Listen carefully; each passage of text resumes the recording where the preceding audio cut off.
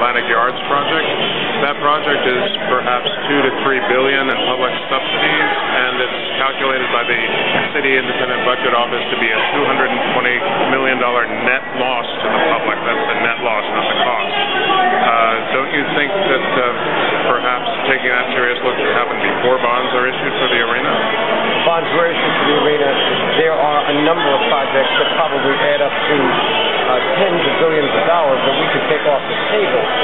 we were trying to save the same cash. The whole premise with these sort of public-private arrangements is to create jobs and to bring revenues back into the state.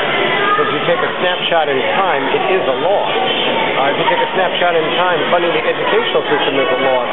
But the revenues that you generate from the workforce in the years to come far outweigh the investment.